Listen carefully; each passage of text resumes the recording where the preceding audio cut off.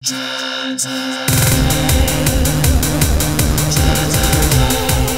guys, we are in the basement and today, yes today guys, on this episode of John's Arcade. Well guys, this is it. Yeah, yeah, it's really it, I swear. this is episode, uh, is this 14 or 15 of the Mortal Kombat 2 restoration? And yes, we're gonna be working on our old friend, the Hantarex Polo monitor. Now, actually, we're gonna work in the garage today. Uh, it, the weather's actually kind of okay. It's like in the 40s. So we're gonna go outside and we're gonna continue working on the Hantarex Polo. And yes, in, in the previous part, um, the Polo, actually, we've been working on this monitor for a year, okay? It's, it's been in shutdown. And and uh, in the last video, we found a bad film cap. So in this video here, we're gonna replace all the film caps, replace the hot, and see if we can finally fix this Hantarex Polo because once we do, we can move on to the rest of the restoration. So anyway, enough of that. Why don't we just go to the garage and let's get to work on the Hantarex Polo. All right, guys.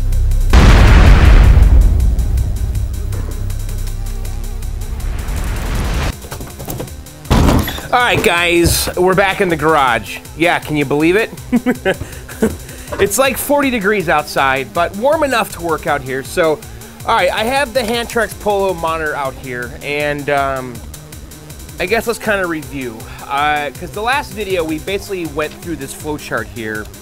And, and, and, and, by the way, if you guys missed the previous videos, the monitor is in shutdown. Okay, we did a cap kit, we replaced the flyback, but when we turn it on, the thing shuts down and we have no neck glow or anything, and we hear a ticking sound. And if you go through the flowchart here, it basically ends up uh, no blown fuse, okay, and then and then it says here we have a shorted hot, which we replaced. And then it says uh, shorted diodes be tested. And then it says to check these caps right here, C172, 174, and 175. Now, when we did the full cap kit on this monitor, I pretty much assumed that we replaced those caps because why wouldn't those be in the cap kit? Well, turns out they weren't. Um, so when I was looking at the flowchart last summer, we completely overlooked the caps. And there's three caps that are actually right here. One, two, three, and that's C71, C72, or, or C72, C74, and C75. It turns out it's these little film capacitors here. Now, in the last video, we tested these with my LCR meter using the ESR function. Um, so if I put it on ESR here, right there. And frequency, Ian told me I should be testing this stuff uh, at 120 hertz. Um, it's more accurate uh, for most caps. Um, so anyway, if we are coming here to test these caps, and uh, there's no polarity on these caps, by the way. So it doesn't matter where you put the positive or negative leads. But Okay, so this one right here, it says 8 picofarads, and we have no resistance, okay? So this cap is open. This one is bad. And, and this cap right here is supposed to be 3.3 nanofarads, and right now it's 7 picofarads. And we have no uh, uh, a, a, a series resistance. ESR is equivalent series resistance, and basically the higher the resistance, supposedly the less life the cap has. But every cap is different. So anyway, this cap here is bad. And if we were to test the other ones, so this one's supposed to be 12K. No, 12 nanofarads, and it is. And our resistance is 4.8 ohms, 3. It's kind of bouncing around. I think with the higher frequency, um, it moves, the ESR moves a little bit more. Like if we were to put it on 1, I think it's sampling less often. Well, no, it is moving still. So we're at a 120. So I think this cap is fine. So we have... Wow, it's coming from 10. Well, we'll compare it to the new one. And then here's the other one. We tested all three of these. These are the three that are on the flow chart. God, it's all over the place. It's 5 nanofarads. This is supposed to be 8. let's compare it with the new caps. Um, so I ordered these on uh, Mouser, and the form factor for these two caps right here is a little different than what I pulled out. They're kind of these little chiclet ones. But let's just kind of see here. So this is the 3... This is the 8.2, which is this one. And then this is the... Let's see, this one here is 12K, which is 0.012 farad. Okay, and but they're different form factor. I don't think it matters. I actually asked Ian and he told me to get these. Alright, so this one right here is the 8.2, which is this big one. Let's kind of just test it and see.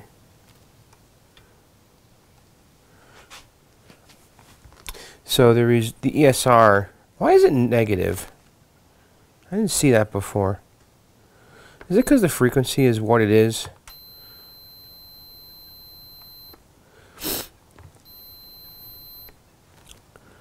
Let's see.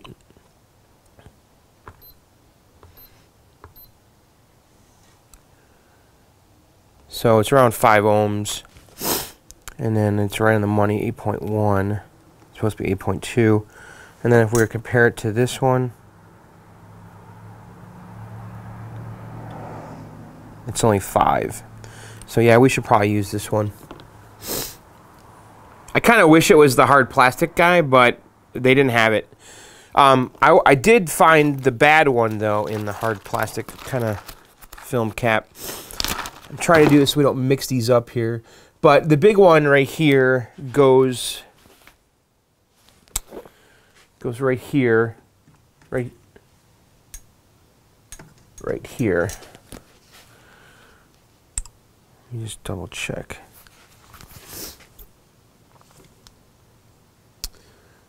So, yeah, that's 174. Yeah, 174. All right, so let's just put this guy in. I'm going to replace all three. Okay.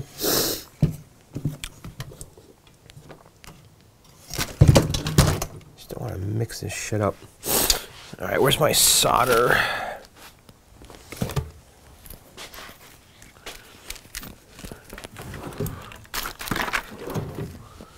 So we'll take um, our flux pen right here and just kind of put a little bit of flux on that.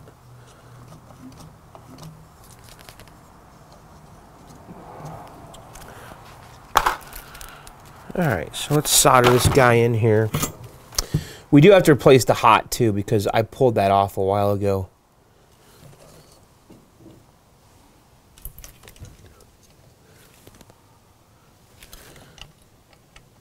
It does feel good to be out in the garage, I'm not to lie. Alright. Just want to make sure that's kind of sitting in there nice.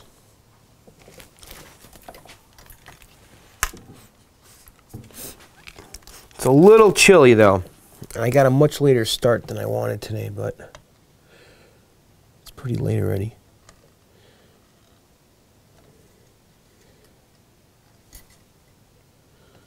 Alright, so that's in there. See if I can find my side cutters. They might be in my toolbox.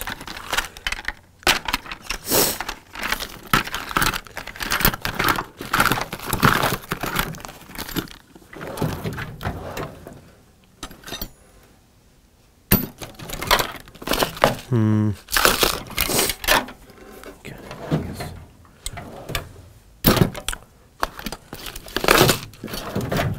Darn it. I guess we'll go to the car. Hang on, let me grab my side cutters.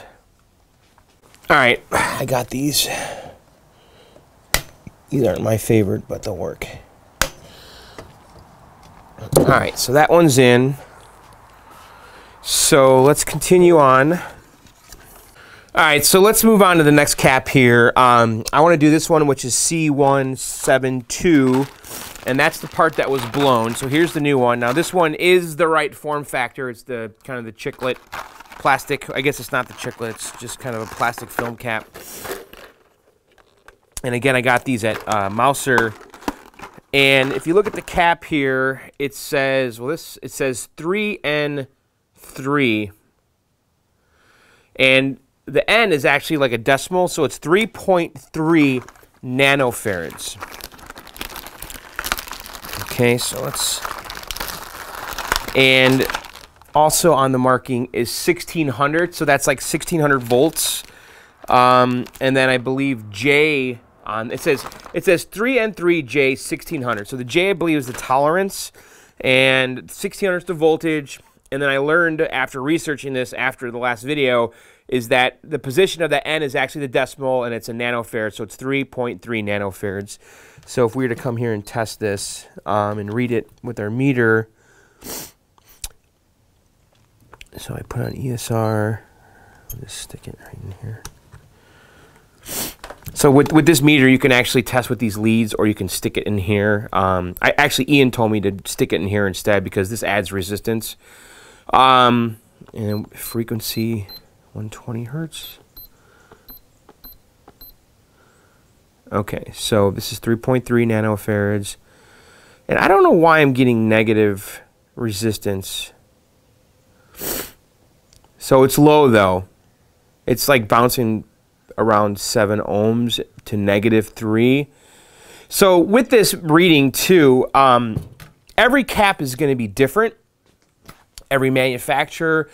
To really know what the correct ESR is, you almost need to get the data sheet for each cap. Um, and I guess the idea is that the highest, the higher quality caps are going to have lower resistance uh, ESR out of the factory. And then over time, as they age, that resistance goes up.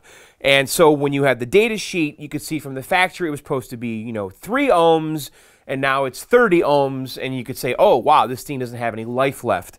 But again, it's all manufacturer and part dependent. So there are kind of like general charts out there that I found that says, oh, a, you know, a, a 2200 microfarad cap, 150 volts is usually around this. And you can use that as a guide.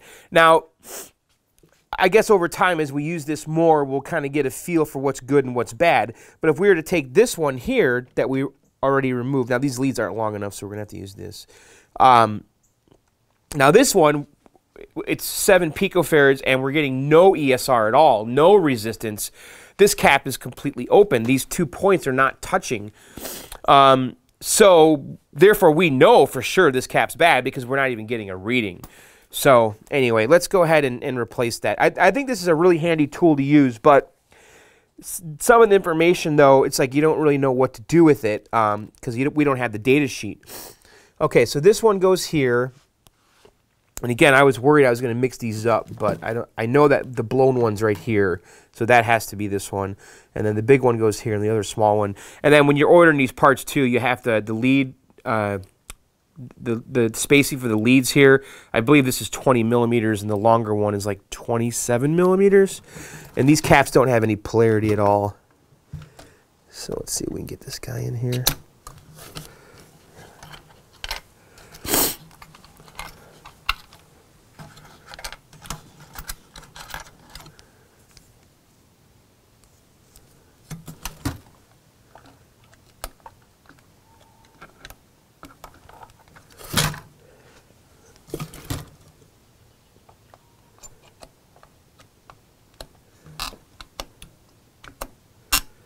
This is tough.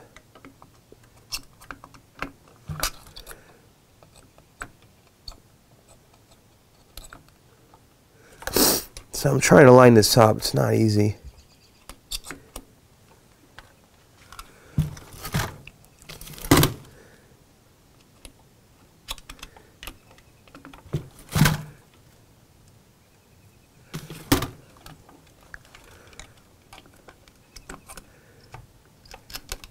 There we go. Okay, it's in. So I gotta just kind of carefully tack this in because it's gonna just fall right out. So I'm gonna take my soldering iron here. And just kind of load the tip up with some solder.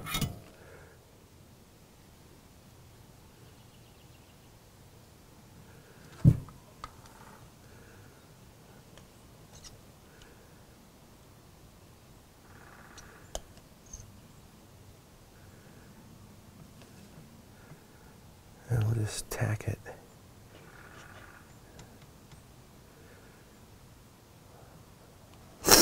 Where's the other lead? Oh, right here. Oh. Oh, right here. All right, it's in. So let's go ahead and solder it a little bit more.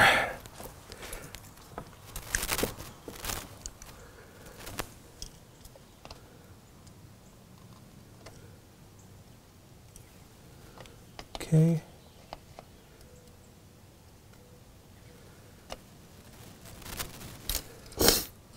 Okay. So that one's in. All right, so we've got one more cap to go here, and we can test this out. I really hope this fixes it, guys, so we can move on. All right, so the next one is this one right here. And this is 0.012K. And our replacement is 0.012 microfarad. Oh, the K is the tolerance. So it's 0.012 microfarads, and this is 630 volts, and the one we got is 800.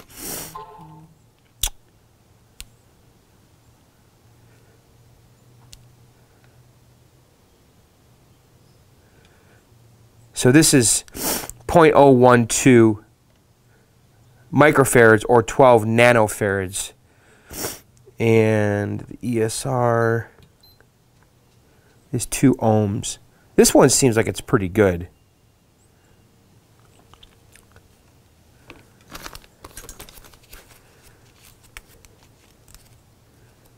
The other one did not. It seemed like it was kind of borderline. Let's test the new one.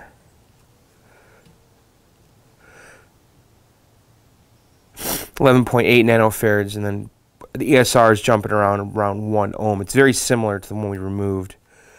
So let's just put the new one in. Okay.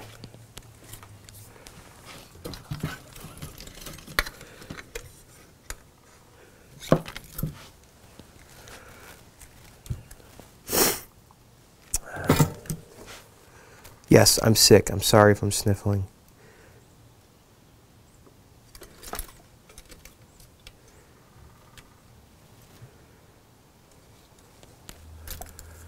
Okay.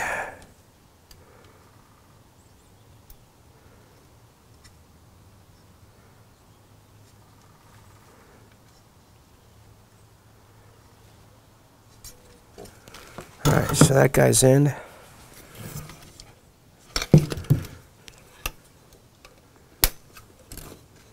All right, so we've replaced all the caps now. Does it work? Well, we can't power it up yet, though, because the hot is not installed. So I actually ordered these from eBay. BU508AF. The thing is, I lost and cannot find the little metal retainer thing that straps this thing to this heatsink here. But this new part here is is, is self insulated. Um, so I don't know how much heat's going to come off this thing. So we'll see. But again, I can't find the. Uh, there's like a little metal strap thing that that holds this to the heatsink. You could see like on this cap over here. So I brought it in the basement before the last video, and I don't know where I put it. That see that little strap so we're supposed to have one of those on there right here. But anyway, let's just install this guy.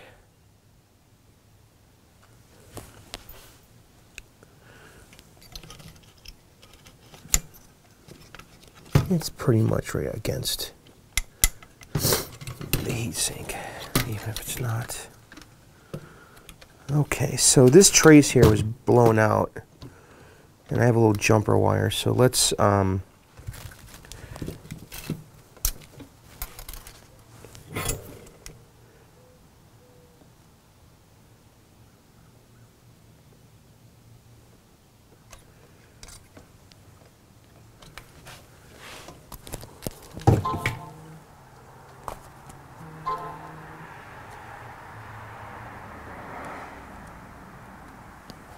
zoom out a little bit. So I'm just kind of holding it in place while I kind of tack one of these legs. Okay.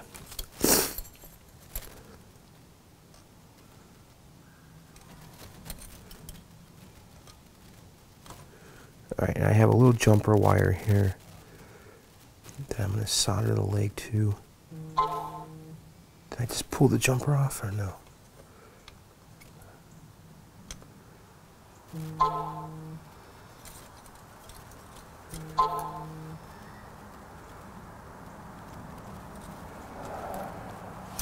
We'll have to get our meter to see if that's a good connection there because I can't tell. All right, let me grab my meter. Hang on. All right, so let's test this here. Put this on continuity.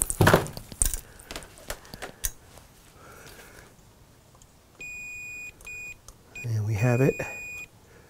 This goes over here. This just goes to this whole plane here.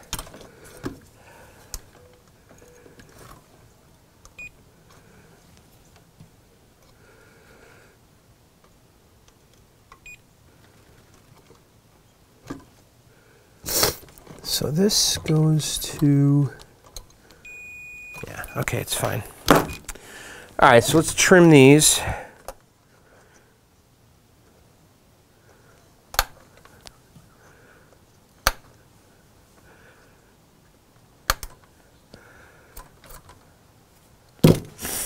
All right, so we're ready to start putting this back together. Did we fix it? I have no idea. Sure hope so. God, I don't remember how this thing goes back together.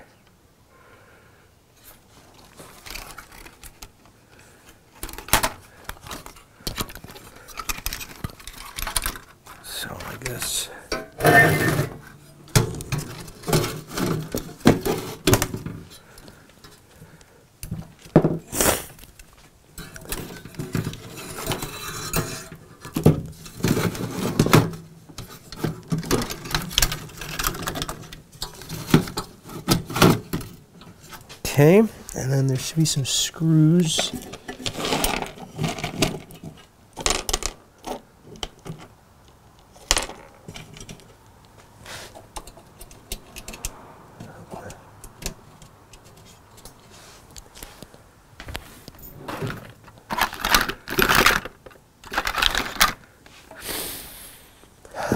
Let's see, we can use this.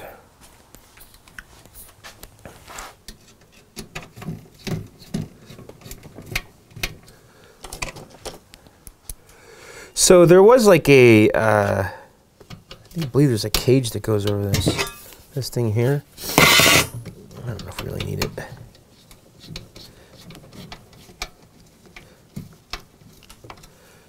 All right, that's on there. So let's go ahead and put the neck board back on. So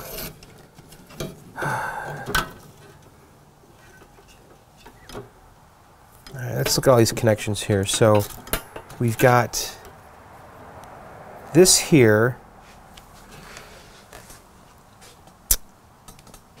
I believe that this can go in at one of two spots back here.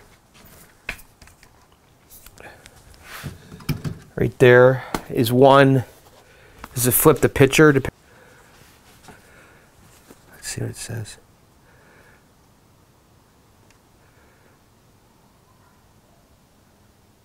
I'm not sure. I don't recall. I think that one of these green ones is right, obviously. I think maybe one's medium, maybe one's standard. I, I doubt it, but or it flips the yoke. I think that's what it does. All right, so that's in. So the neck board, does it have a ground wire? I think it's already connected.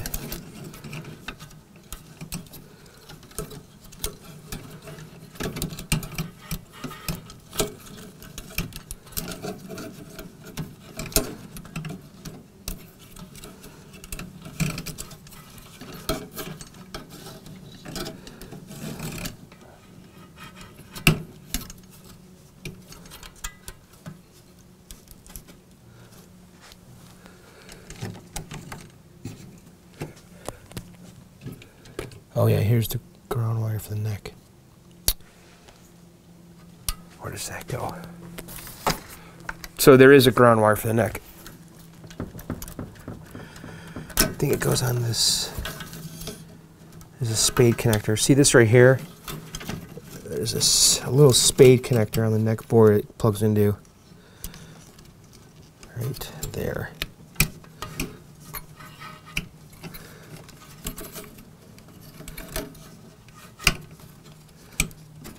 Okay. So the neck's on. So now we have the degauss coil, which I guess goes right. Oh no, this is the power. Okay, the degauss coil plugs in right in this corner over here. All right. So everything's plugged in. We just need a video signal and power. And then we might have to switch the yoke depending if the picture's upside down or not. And then we have this guy right here we got to plug in. Um,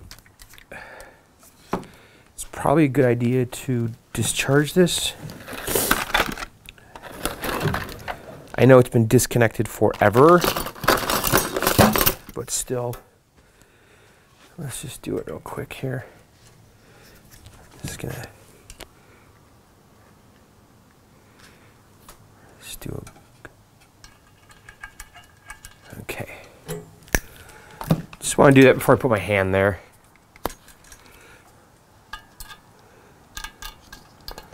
All right, so that's on. This thing here, we got a zip tie the degauss coil. It's kind of hanging out. I'm not sure if I have any handy. All right, we'll worry about that later. Okay, so I need to figure out a way to plug this in. So I think I'm going to pull the turtles out, and we'll use that power, um, the isolation transformer on the turtles to get power to this thing. So let me do that real quick, and I'll come back. All right, so I got this monitor on a table. I have the turtles opened up in the back. And we're going to use the isolation transformer in the turtles to power this monitor because you cannot just plug this into the wall. Um, so let's kind of come over here. It's a little tight. I got to clean the garage here. All right, so here's the power coming from the turtles. Right here. And we're just to plug that in right here. Okay, um, we're ready to do this. So what we want here is neck glow and no ticking. All right, you guys ready?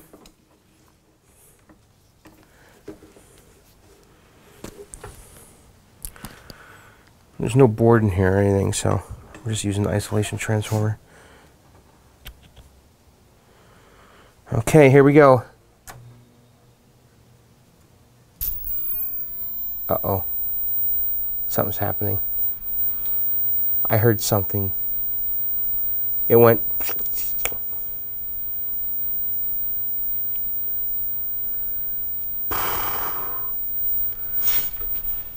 Oh, we got HV. Um... I don't know if it's working. Let me turn the light off so you neck glow.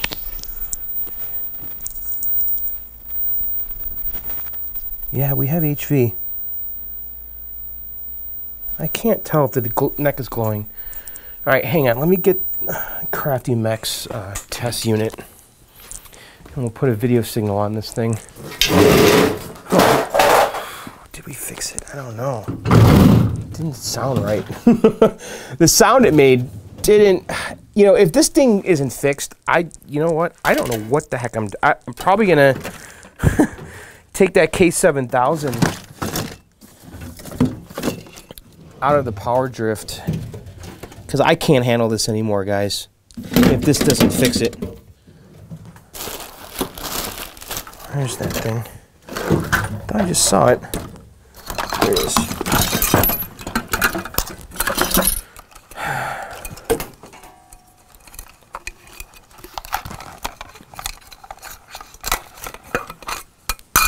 Okay, so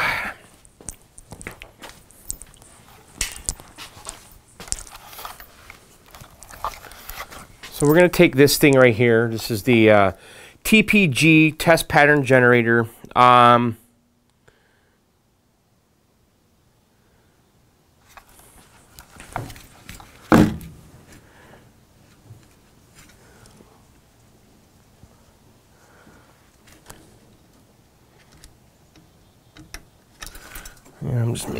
connection here.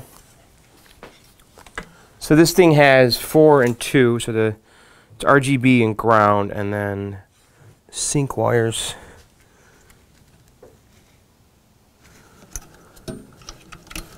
So it's gonna go like this.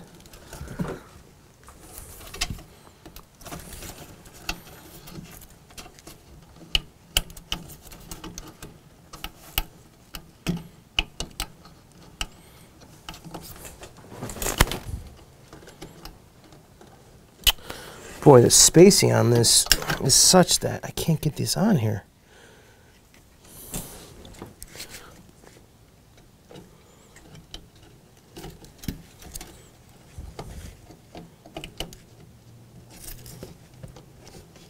All right, it's on. All right, here we go. Yeah, I don't like that sound. It's like psh.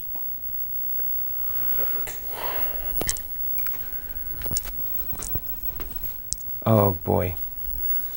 well, guys, we did fix it. Thank the Lord. uh, we did it. It's fixed. It's working. I didn't think we did. I really didn't think it happened. Oh my God. All right. All right. All right. This is good. oh. I'm feeling positive. This is really good, guys. thank you, thank you, thank you. All right, let's clean up the monitor a little bit. Oh my God, yes. I'm so happy. I want to thank, uh, well, I got to thank our, the, the tech at Arcade Club first, because he's the one that told me to change these caps, and then um, and then all the people that sent me that email um, with the video to the sunken canoe video that covered this same topic. But you know, these caps, don't you think should be in the cap kits? Boy, this thing's dirty. Obviously, when you're spraying Windex on here, just make sure it's on gets on the tube and not on the chassis.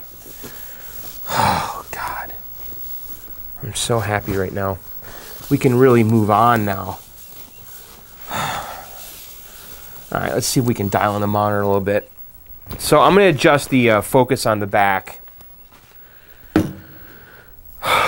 Is there a curl here? What's going on? Let's see if we cycle through the, uh, the patterns. I think it's this button.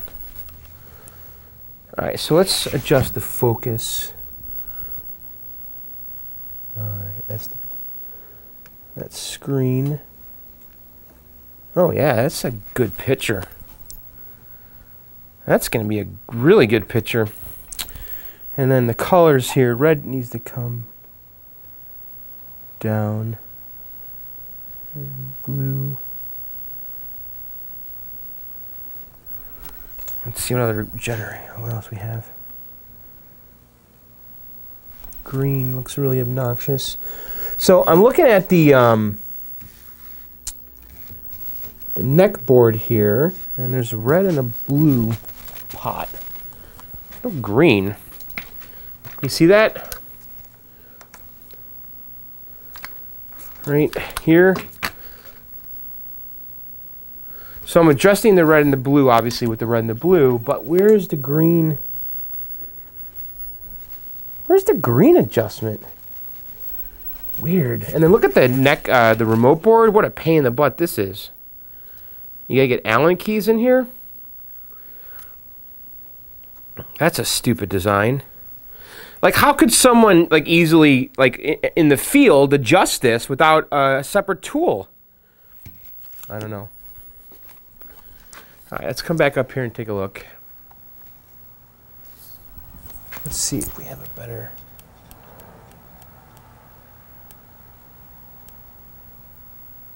So it seems like there's a bit of a curl here. I think the vertical size is too. So this is supposed to fill the whole screen, isn't it? All right, let's see if we can adjust this.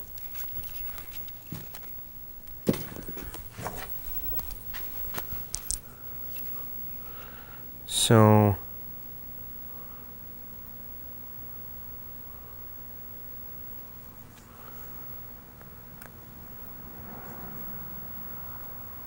So that's that.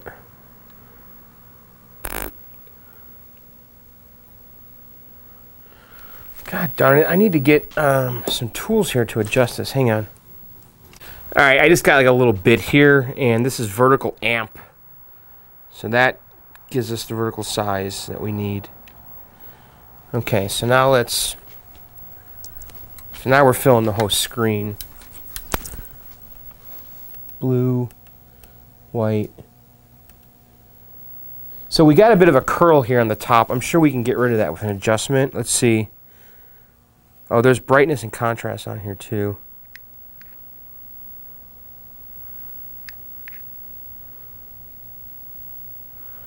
Okay, so there, we were missing that whole grid. Horizontal frequency, there, that straightened that right out.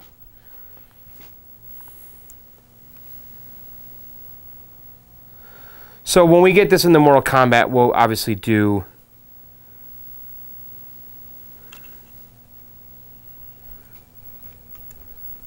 we'll do the proper adjustments here, but let's see if we can get that a little bit more in focused. Oh yeah. There we go. It's not a bad looking monitor. I think it's going to look really good actually. we finally did it! oh my god. Thank God. All right, so here's what we're gonna do. We're gonna stop. Yeah, we have to stop. It's it's it's late and it's cold. Um, so next video, um, we're gonna start putting everything together now. Now that we have a working monitor, it only only took a year but it works and i'm very very happy right now.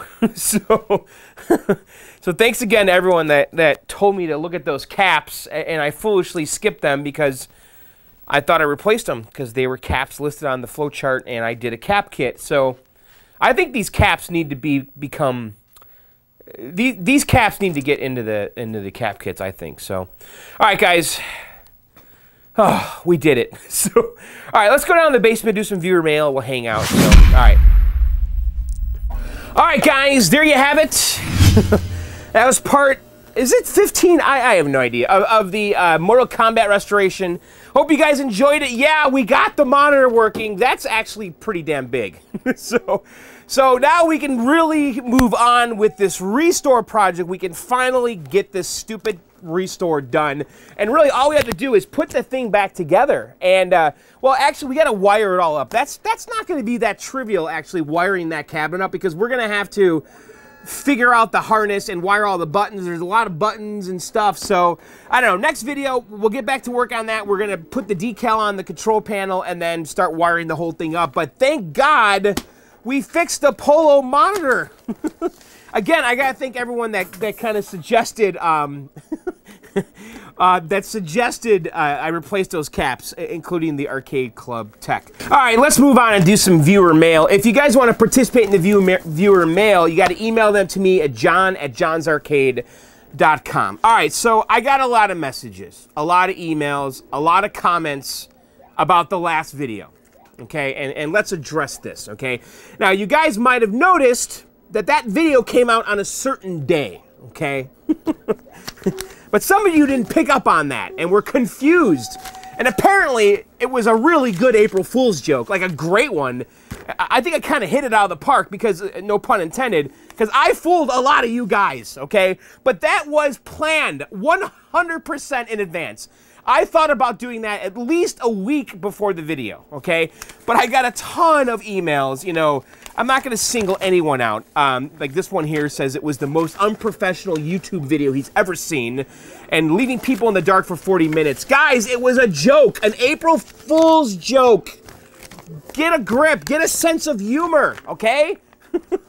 I did the exact video I wanted to do. And you know what? It was hilarious to me. I showed my kids, they were laughing their ass off. they made me replay the video. It was funny, okay? a joke. That's it, nothing more. Don't read into it, okay? It's an April Fool's joke. and then the other thing we need to talk about. Um, I've been getting a lot of emails like this. Where are you? Are you dead? Probably not. We missed your broadcast. Have a nice day. So yeah, I have not been releasing videos as much the last month or so. And what does that mean? Well, I mean, quite frankly, I, I just, I, I, don't feel like it, okay? I, I just haven't been in the mood or have the motivation. So I kind of decided, you know what? If I don't, if I'm not in the mood to do it, then I'm not going to do it. And I think that's going to be how it is going forward. You know, guys, and, and again, don't don't read into this. Don't take this personally, okay? This is me talking, okay? This is my life, right?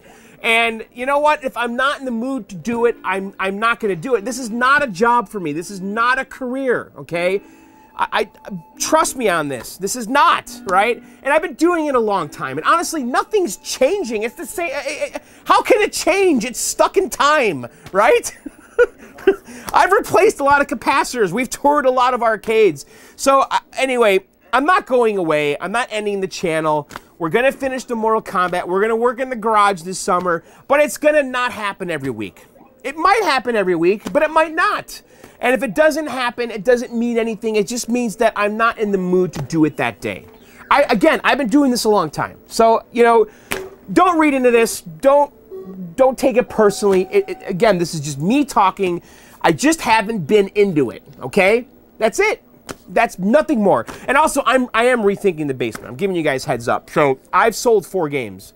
Uh, my buddy Jay's taking them. Uh, and the other side of the basement, I want to completely rethink and redesign. Um, we'll still have this, but over there, we're not going to have the games. That's kind of my plan. There might be a couple over there. I, I don't know yet. It depends how many I get rid of. But I want to build like some desks and stuff over there and really spread out my work area for music and, and, and podcasting and all that stuff. So I just need more space. You know, when we brought down the Mortal Kombat and the Bally Sente, my, I mean, I mean it, it was the straw that broke the camel's back down here. Like literally, it, it's so cramped down here. I hate it. Okay, I got to get rid of stuff.